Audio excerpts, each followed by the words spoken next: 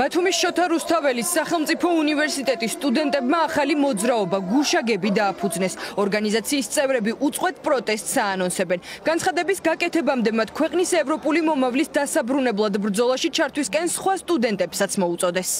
მინდა მიმართო ყველა სტუდენტს, რომელიც დღეს ჩვენთან ერთად არ დგას, შემოგვიერთდეს, ეს არ გვაქვს ყურების ჩამოყრის არანაირი უფლება, არანაირი საფუძველი, რადგან ჩვენ არ ვარ დამნაშავე იმ ყველაფერში, რაც ქართულმა ხელისუფლებამ დაამართა ჩვენ საზოგადოებას. ვიქნებით ჩვენი ქვეყნის გუშაგები, ჩვენი ხმების გუშაგები, ჩვენი თავისუფლების გუშაგები, ჩვენი ევროპული მომავლის გუშაგები. პროტესტის გამოხატვა ნებისმიერ სახით დავიწყეთ უნივერსიტეტიდან, რადგან უნივერსიტეტი არის განათლების კერა და ერთ-ერთი ადგილი, სადაც შეიძლება ახალგაზრდა აგზარდოს იმ ფასეულობებით, რომელიც ემსახურება საქართველოს ეროვნულ ღირებულებებს. სახელით შესაბამისად შევარჩიეთ გუშაგები, რაც გულისხმობს ცველს და ჩვენ ვიქნებით ჩვენი ქვეყნის პირველი მცველები. მოძრაობის წევრები უნივერსიტეტის ადმინისტრაციას არჩევნების გაყალბებაში ადანაშაულებენ. მათი თქმით, პროცესში უნივერსიტეტის ადმინისტრაციის თანამშრომლებთან ერთად რექტორიც მონაწილეობდა. გარდა არჩევნების გაყალბებისა, სტუდენტები სხვა დარღვევებზეც ხვებიან. ბრალდებების ჩამონათვალი დიდია, მათ შორის სტუდენტები ამბობენ, რომ ადმინისტრაცია მხოლოდ ხელისუფლების ახალგაზრდული ფრთის პროექტებს აფინანსებს. დღეს უნივერსიტეტის საქმიანობა ეწინააღმდეგება უნივერსიტეტის სტრატეგიულ მისიას.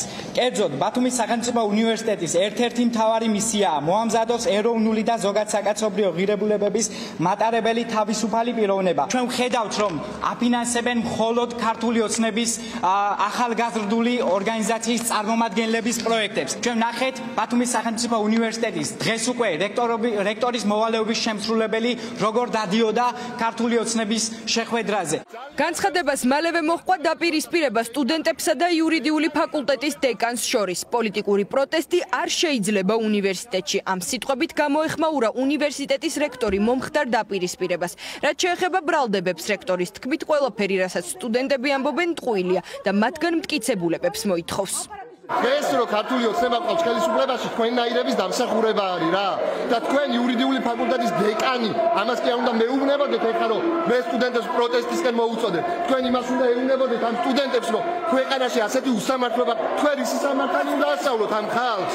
ძალიან ბევრი უფლება საზღვაო საკუთარ მივცემ მე სტუდენტი ვარ და თქვენ დეკანი ხარ დეკანი ხარ რომელსაც და თქვენ ხელს რანაირად მათავს სწორად სამართალს როგორ ასწავლეთ ამ სტუდენტებს გააჩნია პროტესტი თუ პოლიტიკური ხასიათისა, რა თქმა უნდა, უნივერსიტეტში არ შეიძლება. ეს რაიმე კონკრეტული ფაქტის გავსი. კი, ფაქტები არის. ასახელებენ. მაშინ უნდა წარმოგვიდგინო წერილობი. არჩევნების გაყალბებასთან დაკავშირებით აქვს მათ ბევრი შეკითხვა. მგონი გაგიმარტეთ, ხო? კონკრეტულად ჯერერთი მე არ ვიცი არჩევნების გაყალბებასთან დაკავშირებით ჩვენი რა პასუხისგებლობა.